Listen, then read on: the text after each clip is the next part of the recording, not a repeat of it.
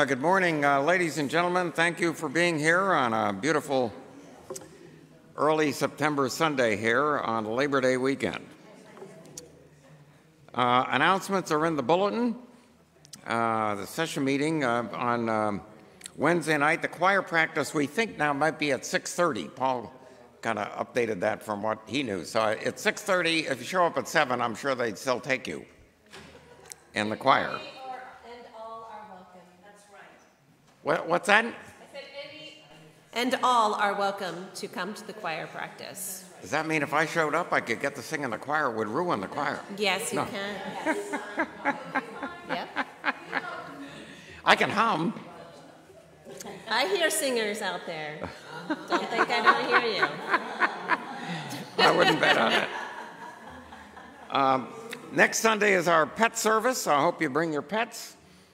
I don't know if Francis is here, but last year he brought his horse. I hope he'll uh, consider doing that again. That was great.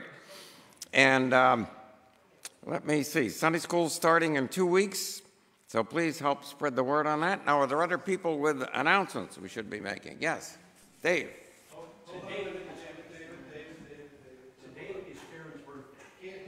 Wait a minute. Wait. We have to. We have to announce this in the microphone, otherwise it doesn't count. Hold on. this is for all the. I said today is Karen's birthday. Okay. I'm celebrating the 42nd anniversary of my 29th birthday.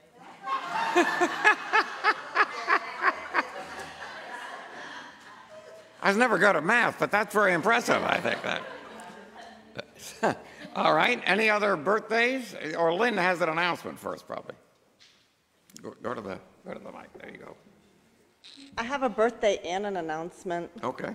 Um, my oldest turned 21 this past week, Wow. and um, Sunday school.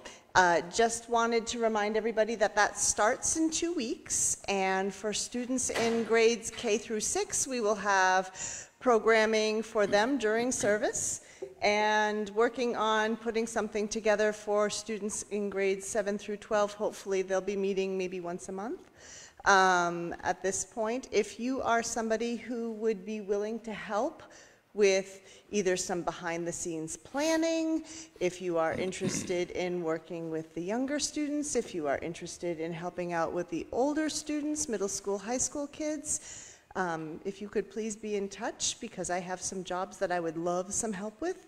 And they can be small, but they could be large, depending on what you have time for and what you're able to do. Could be as often as every week, could be as often as once a month. Let me know, please. Thank you. Thank you. Did you give us the uh, Did you give us the birthday announcement? Oh, Andrew. Andrew's birthday. So we have Andrew and Karen. Anyone else with? Yes. Cheryl.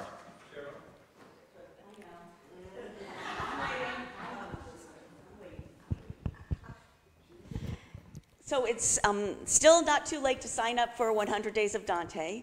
We now have seven dedicated readers in our little small community.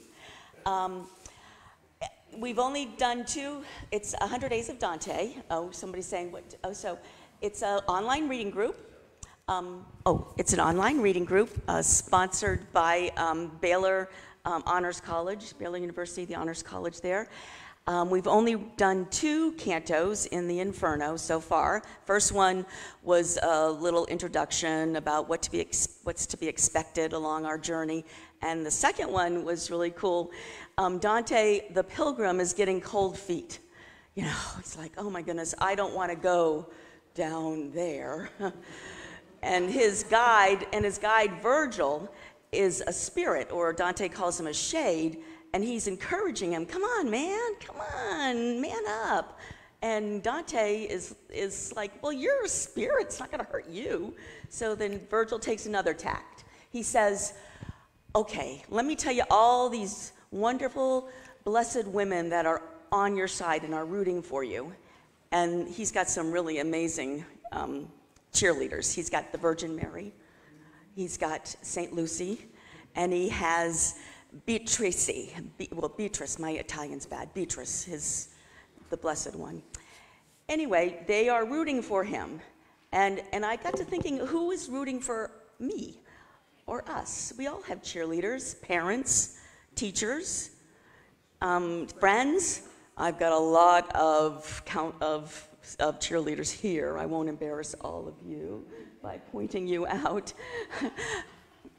but um, but um, oh, and I have some online. Hate on Iva, hate on Molly. Um, but anyway, so um, I just want to encourage you to sign up, read Dante, join our reading group, read Dante. It's not hard. Um, and then once you sign up online, let me know either verbally or um, sign up on the sheet that I have out in the hallway because we'll get together during our journey. And I'm just going to close with something that Dr. Anthony Nussmeier said about the second canto. He said, Dante, I quote, Dante's fictional epic stands as one of the greatest teachers of our non fictional world. Ooh, I hope that inspires you to sign up. 100daysofdante.com. So if Dante had cold feet about going into hell, that would probably take care of that. Just think about Not that I'm advocating that. I mean.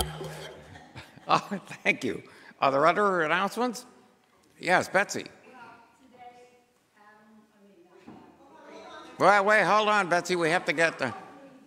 Yeah, sure you do. We want people far and wide to know about this. Hold on. Well, t- today, 60 years ago, my son Greg was born, and actually was on Labor Day, the day he was born, which was very appropriate. And he's not here, but I thought it'd be nice to sing to him too. Okay, wonderful. Thank you. And somebody else had, oh, Ellen.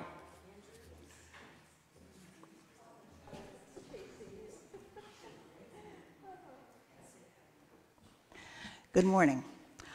First, I want to say thank you to everyone who brought flowers in during the summer. It really just made uh, the worship together just that much more beautiful. I don't even know who brought these beautiful zinnias today.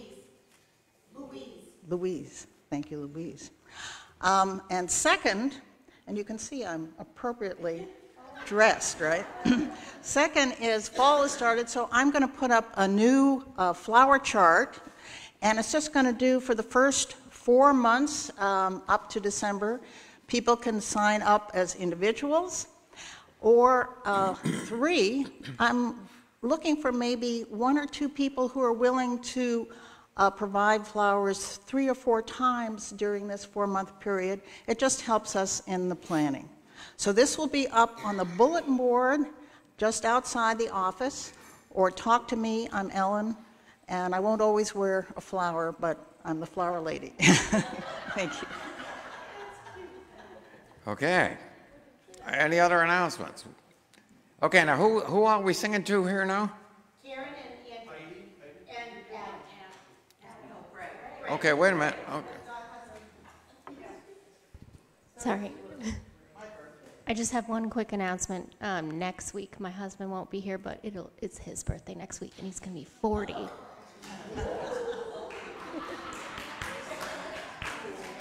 Yep, Kelly. He'll be in England, but he's going to turn 40 in England, so we won't be here. Okay. And you can keep the microphone as a souvenir? No, I guess not. Okay. All right. Okay, we're going to sing, or we got more? Oh,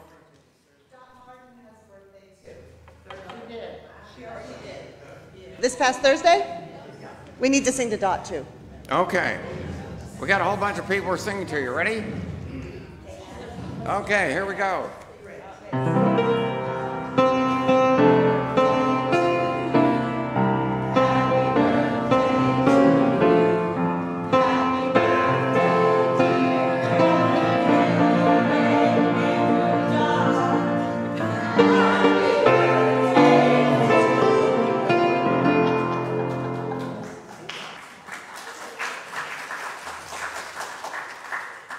Going to share a quick letter that we got this week uh, with everyone.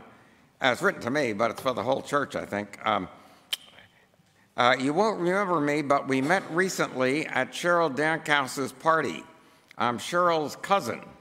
This gentleman's name is John Landrigan. Um, After the party, Cheryl had occasion to share the August 21st edition of your church newsletter, and I read with interest your announcement of the news that the Community Church of New Boston had been included on the list of so called woke churches in New Hampshire. My wife and I uh, admire and applaud your response to that, in token of which we would like to make the enclosed donation to your church. I hope your congregation agrees with you in your response to the woke list, but speaking as a native New Hampshireite, the idea that any community of Granite Staters would agree unanimously on, well, anything strikes me as unlikely.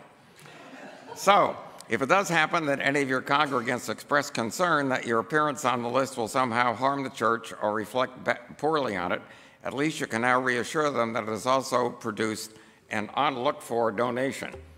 Naturally, the donation is to be used as you see fit, though if there's any opportunity to note it as being in honor of Cheryl and in memory of Charlie, that would be an additional pleasure for us. Good luck with your work, uh, John Landrigan. So I share that with you because you're a great group and you're pretty woke. Okay, so let us begin the service with our morning prelude.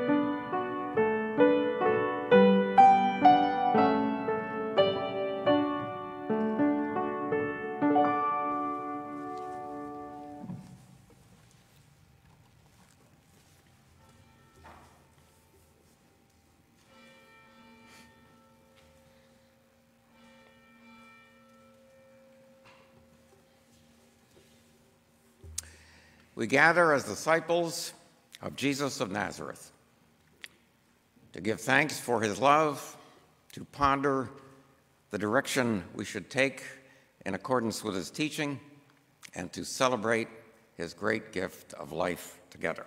Let us begin to worship as we sing our opening hymn, which is number 401.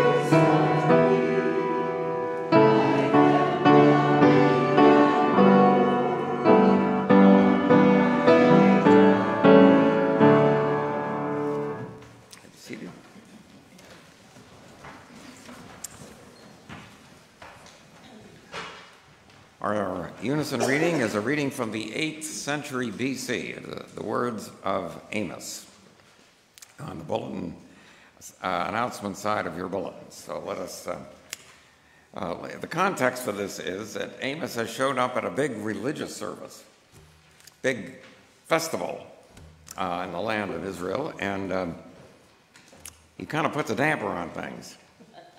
So let us read together. I hate, I despise your festivals, and I take no delight in your solemn assemblies. Even though you offer me your burnt offerings and grain offerings, I will not accept them. And the offerings of well being of your fatted animals I will not look upon. Take away from me the noise of your songs.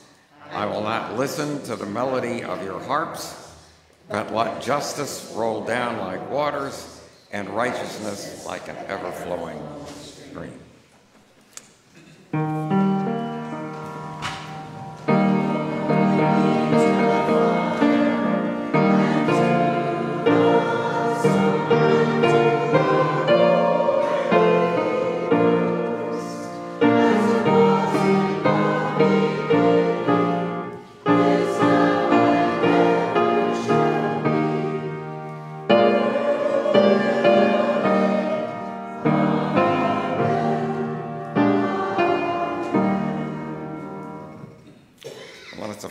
Faith with the words of the Apostles' Creed on the inside cover of our hymnals. I believe in God the Father Almighty, maker of heaven and earth, and in Jesus Christ, his only Son, our Lord, who was conceived by the Holy Ghost, born of the Virgin Mary, suffered under Pontius Pilate, was crucified, dead, and buried. He descended into hell. The third day he rose again from the dead. He ascended into heaven and sitteth on the right hand of God the Father Almighty. From thence he shall come to judge the quick and the dead. I believe in the Holy Ghost, the holy Catholic Church, the communion of saints, the forgiveness of sins, the resurrection of the body, and the life everlasting. Amen. May be seated.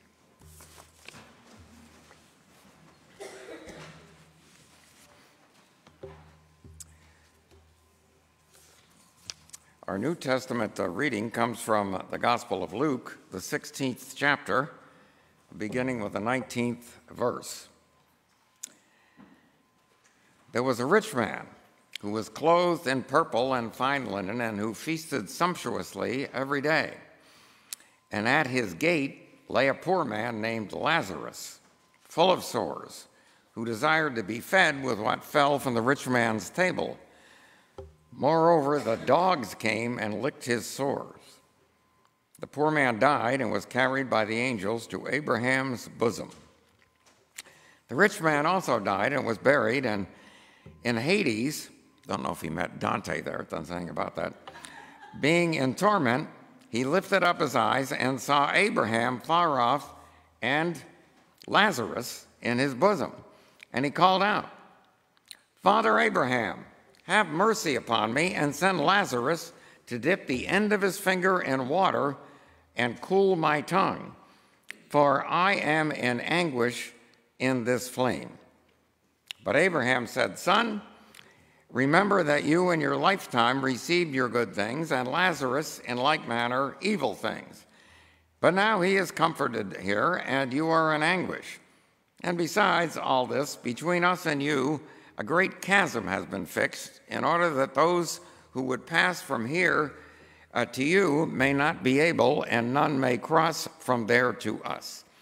And he said, Then I beg you, Father, to send him to my father's house, for I have five brothers, so that he may warn them, lest they also come into this place of torment. But Abraham said, They have Moses and the prophets, let them hear them. And he said, No, Father Abraham, but if someone goes to them from the dead, they will repent. He said to him, If they do not hear Moses and the prophets, neither will they be convinced if someone should rise from the dead. And here ends our reading. Well, I've been talking about heroes. Now, next week we won't probably have a children's sermon because we'll be outside with the, the dogs and the cats and the fish and maybe the horses and who knows who else might be there. But I'm talking about heroes.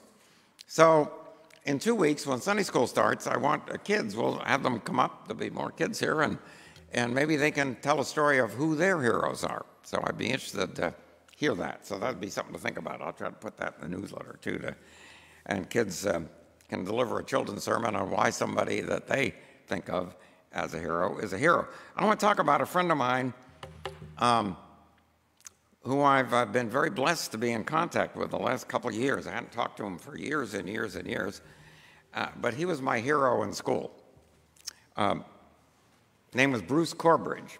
Still is Bruce Corbridge, as a matter of fact. Um, he lives now out in Oakland, California, where he's retired from being a banker uh, at a big company in Oakland. Not a banker, he was a lawyer for that company. Well, Bruce was the kind of kid that could do anything. Um, he was, first of all, a terrific athlete. Uh, in junior high school, he played on our junior high football team as a running back. He was very good. But in high school, he didn't play football because his dad was the tennis coach, and in New York State, we used to play the tennis season in the fall. So he became um, as soon as he showed up on the court, the best tennis player uh, on our team. Uh, he was elected senior class president. He, was, he, he won a naval ROTC scholarship to Yale, graduated from Yale. Uh, and I guess uh, after college, he went, he was in Vietnam in the Navy, and he met his wife there, and came back married, and then went to law school. He was just good at anything anything. But you know why he's my hero? Not just was he good at anything, he was one of the nicest people you'd ever want to meet. I don't know, as kids, if there are kids in school who think they're better than everybody else because they're good at something, uh, he was good at everything.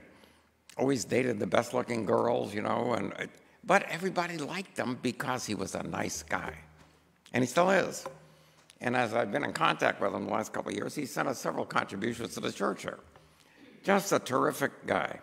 Made everybody feel good um, when he said hi to you. And um, so I'm very, very grateful for him. And I think um, it reminds me as kids go back to school, they just uh, going back again on Tuesday after a couple days starting out. Look for kids in school who might be new, or there might be the kids that everybody makes fun of, or there might be the kids that don't seem to know anybody or nobody talks to, and you be their hero. You go talk to them. You go invite them to join you in whatever game you're playing on the playground. Because that makes a lot of difference in, um, in the lives of, of those kids. And they may remember you as one of their heroes um, um, 60 or 70 years later.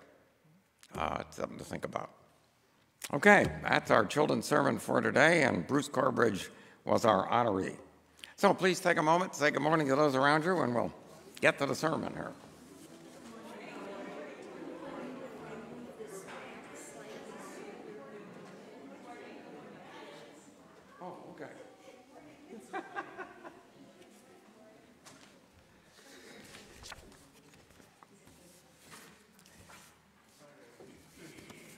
Haven't even told a bad joke yet, and Candy came up and said, wondered if she could move the candle so I wouldn't be cut in half.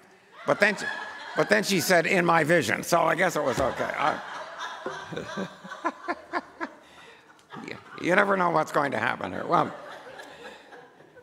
you know, just the other day, I, I, saw a fellow fishing off the bridge over here, which is pretty unusual these days, and the water is pretty low uh, in the river.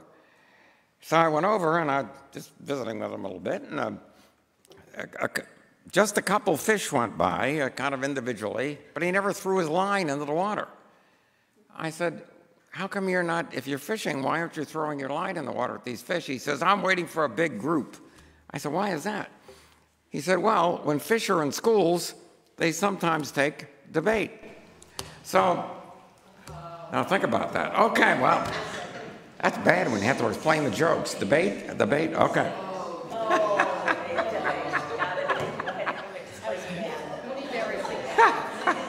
that was a double dipper uh, down. Uh, okay.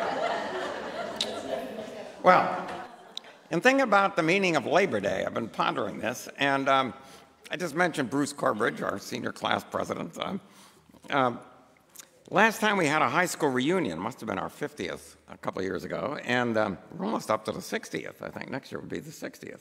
Um, and there was a football game. You know, it's over the weekend in the fall. And uh, so we all went out to the football field um, to watch Garden City High take on a school, and the school that was coming was from Brooklyn.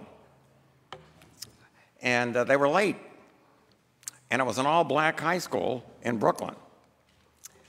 And uh, when it was announced they were late getting there, um, uh, when they finally showed up, the word came they were on their way, escorted by the police. The bus uh, reached the town line, the police escorted them to the football field. And one of our classmates said, uh, a very perceptive line. He said, You know, this is the, probably the most black people entering our town um, uh, since uh, homeowners brought in their black maids on a Saturday morning. Uh, it was kind of a funny line, but then it wasn't funny. I mean, the town I grew up in was on Long Island. This was not Alabama or, uh, you know, uh, Georgia. Um, kind of sad to think about. Uh, fortunately, I think the town is finally integrated. I think I've told this story before, but uh, a lot of my friends and I were big sports fans in high school, and we were excited when we heard that Floyd Patterson, the heavyweight champion of the world, lived in Rockville Centre, not far from Garden City. That's a town where uh, Doris Kearns Goodwin and Arnie Arnesen grew up, if you know. Remember Arnie when she ran for governor? And um, so we were excited. You know, the heavyweight champion was going to move to our town. Then all of a sudden, uh, the Garden City News, a weekly paper, uh, reported that the house Floyd Patterson was looking at uh, had been purchased by the Garden City Property Owners Association. And we all wondered, what the heck was that? I, we, we didn't know. Turned out, I later learned that Jackie Robinson had the same thing happen to him. He looked at a house in Garden City. Of course, he played uh, for the Dodgers in Brooklyn. And uh, the Property Owners Association, whoever they were, bought that house. Well, now I can tell you that the property owners were certainly simply a group of racists who bought those houses because they didn't want any black people living in town. Fortunately, uh, that day is gone in Garden City. Um, now, Garden City is a great town. I don't want you to think that we had Ku Klux Klan rallies or anything. I mean, we got a great education there. Um, a lot of folks went to Yale. Bruce was one of, I think, seven kids in our class that went to Yale, which is pretty remarkable for a class of a little over 300 people. I can see Debbie saying, How could that be? Well, we found out actually there was a guy from Garden City that was in the admissions department, I later learned. But they, all of these were great students and athletes and uh, scholars, etc. Uh, it really was. But it does reflect, I think, looking back on those days 50 years ago, even uh, in a, a suburb of New York City, it reflects the reality of our country and God's world. All through history, race and social class has shaped people's lives to whatever extent, um, sometimes greatly, sometimes just not so greatly, but, um, but I think in a large portion it shaped our whole history. Uh, Labor Day is the day to remember that the working class uh, came together. These are folks that a lot of them were immigrants.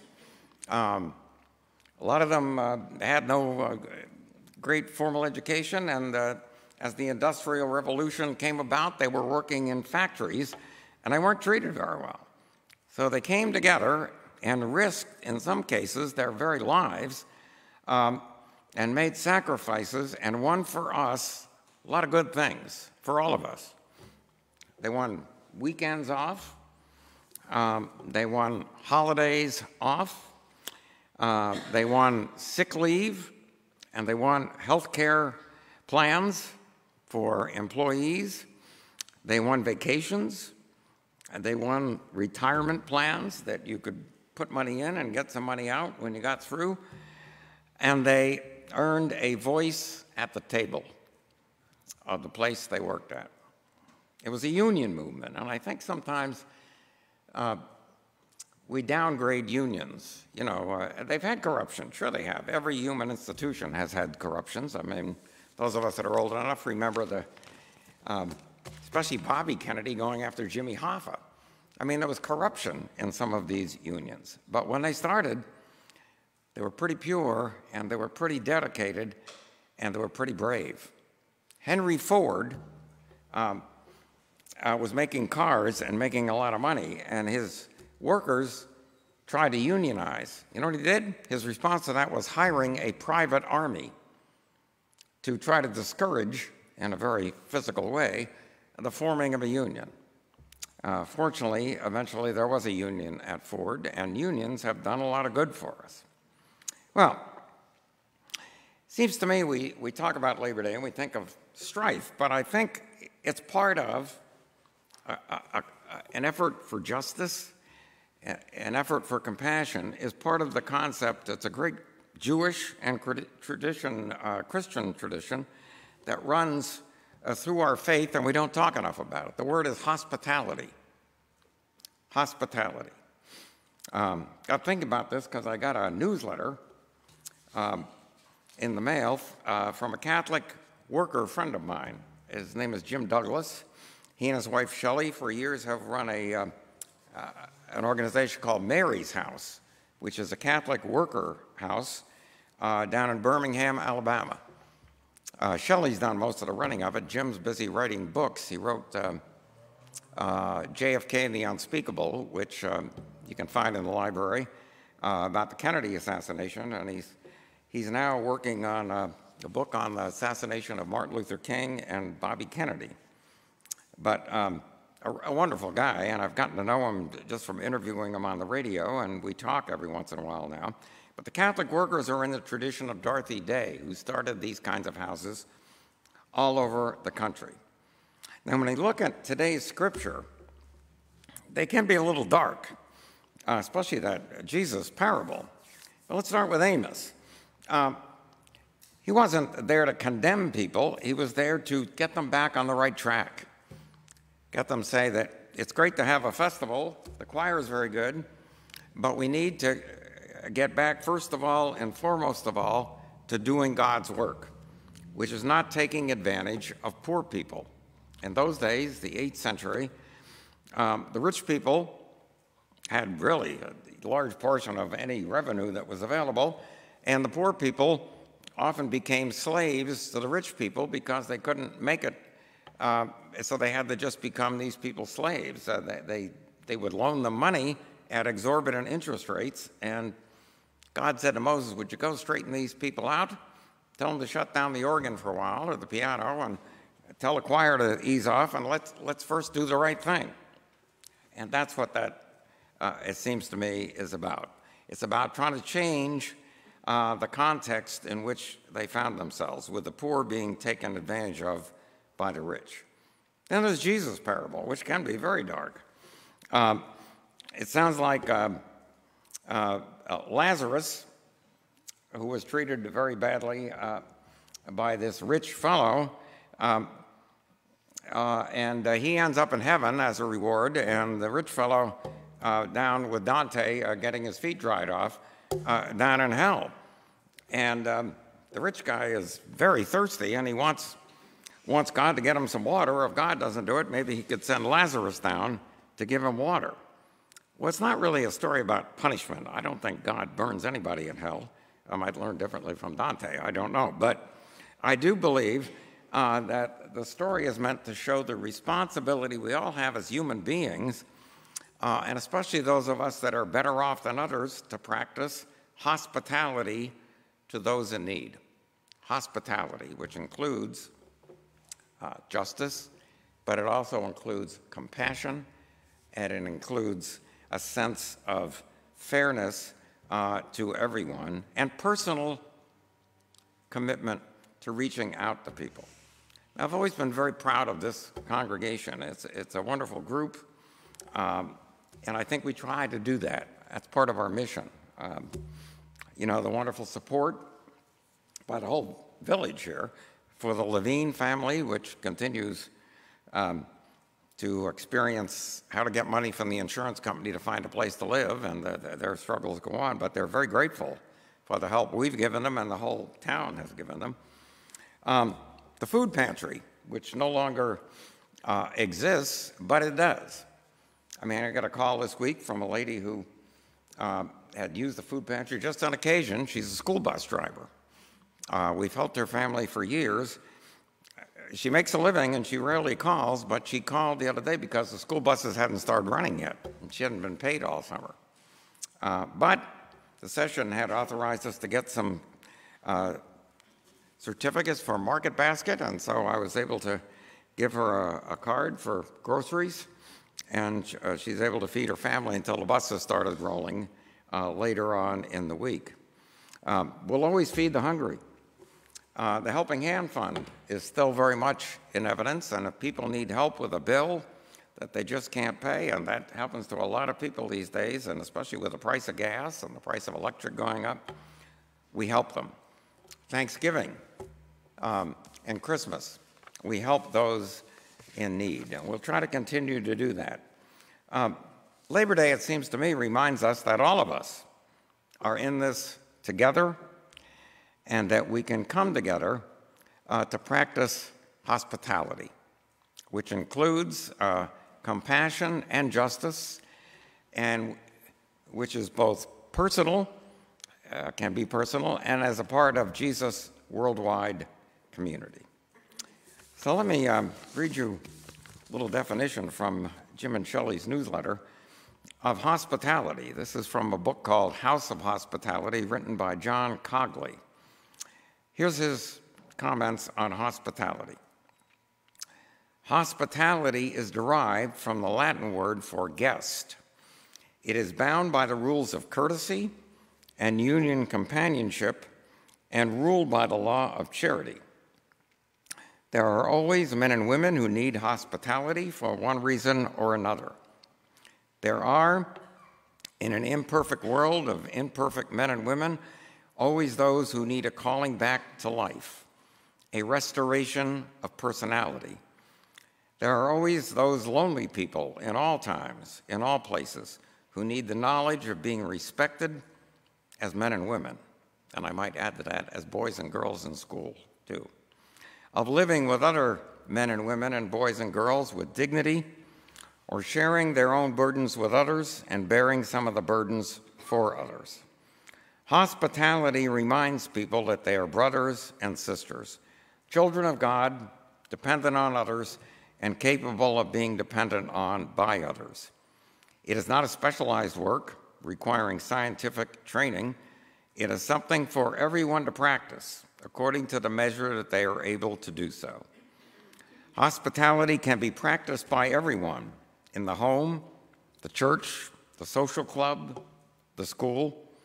It has a thousand forms and can be practiced in a thousand different ways. The charm of hospitality, because it is peculiarly human, appeals to all. And it is not surprising that often God should use the hospitality people give each other as an instrument of God's grace. And then there's another word for this, which I just happened to think of as I was talking here karma. And um, I'll give, tell you a little story. Um, Barbie and I uh, went over to the International House of Pancakes um, uh, some, someone uh, uh, the other day for breakfast. And they were short of help, like many places are. This is the one over in Bedford. And um, so we were there, and um, there was a lady sitting next to us just by herself, and as she got up, I think she had a crutch or something, but it was, she was a little awkward getting up, and she knocked the sugar um, packets that were on the table onto the floor. So I, I wouldn't do anything special. I just got up and, you know, picked them all up and put them back so she wouldn't have to do that. And um, she thanked us and went on. And uh, it came to pay the bill, waitress said, Oh, you don't have to pay the bill. The lady over here at this other table had paid our bill because I thought we did a big thing by picking up the sugar packets. So the result of that was partly because there was no cashier to break my $20 bill, but I left the $20 for the waitress. So everybody did well. Kindness and reciprocity um, and good karma spreads. And when we practice hospitality, it's a way to both help Lazarus uh, when he's living here and now, especially help the downtrodden and see that they have enough cold water to drink and place to stay and a, a chance to live life as fully as they can because we take time to spend with them. I think that's what God calls us to do. So let us prepare to celebrate the Lord's Supper, which is another event of hospitality. And uh, let us do so as we sing our second hymn, which is number 393.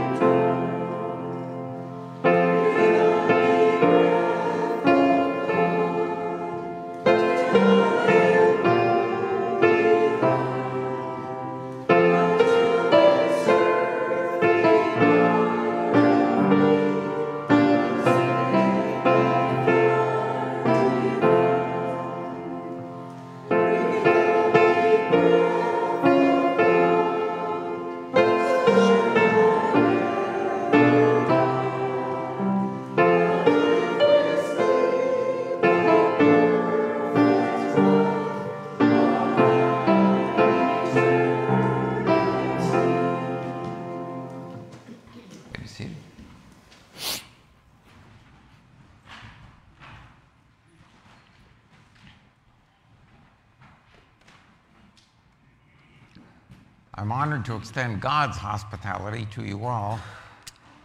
God invites us all to partake in his meal. Uh, it is not the Presbyterian church table that we gather around or the community church table, it is the Lord's table, and all are invited to partake. And let us bow together in prayer.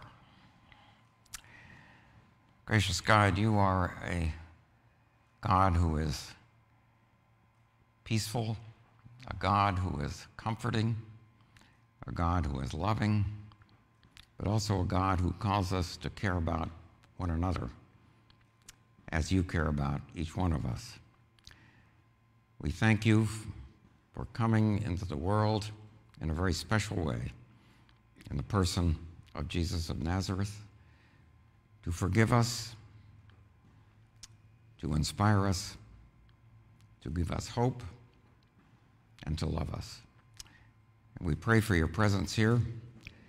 We are grateful that you accept in these moments our silent prayers of confession.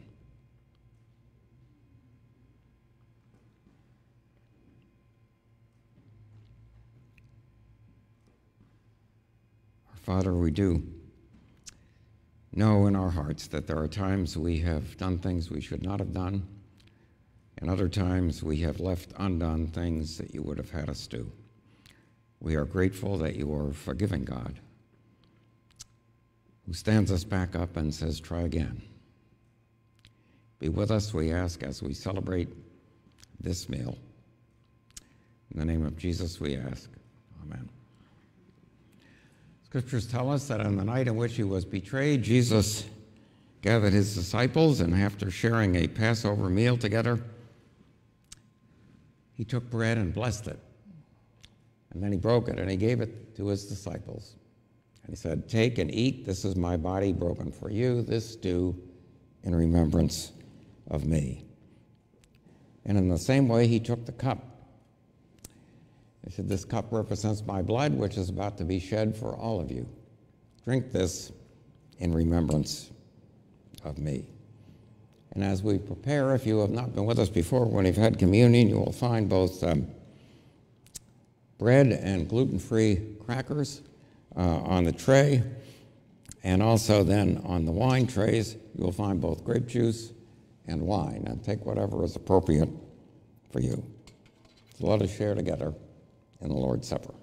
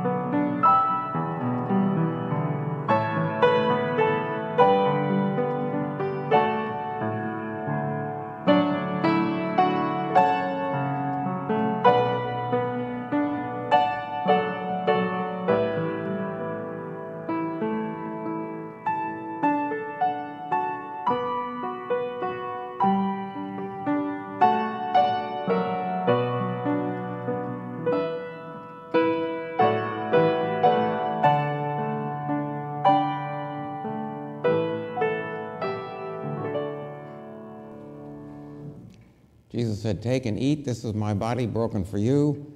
This do in remembrance of me.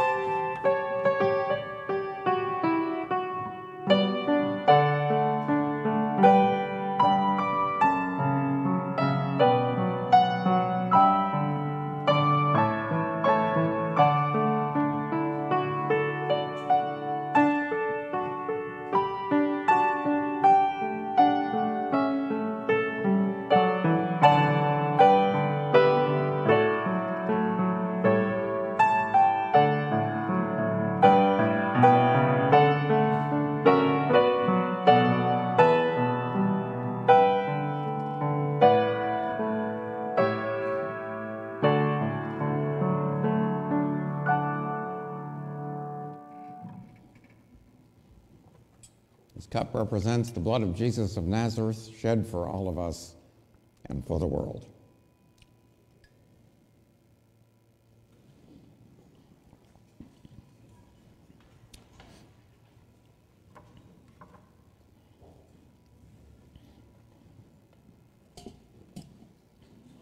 Let us continue to worship as we share our morning gifts.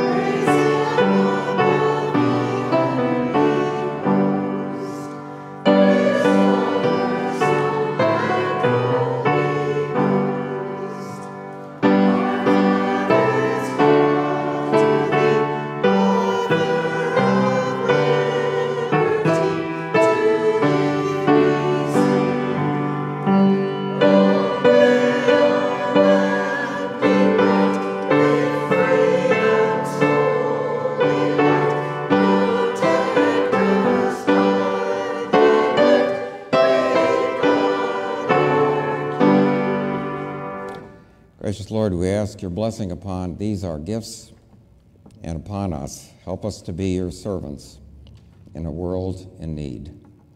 We offer our prayer in the name of Jesus, who taught us to pray together and say, Our Father, who art in heaven, hallowed be thy name.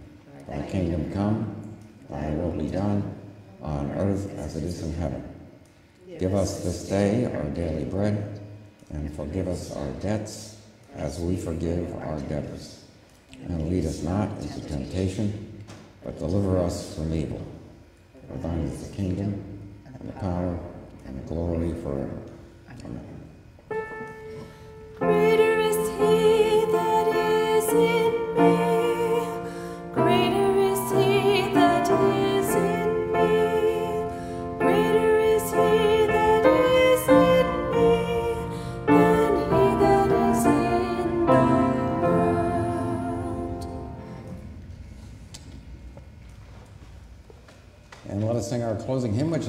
408.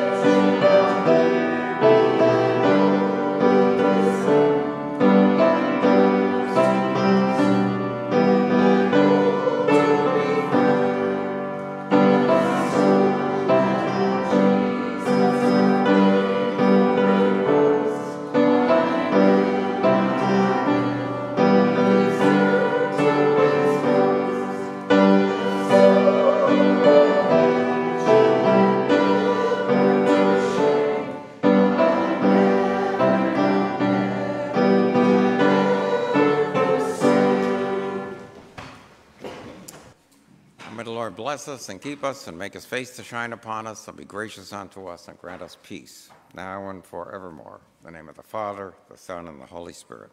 Amen. Beautiful words, wonderful.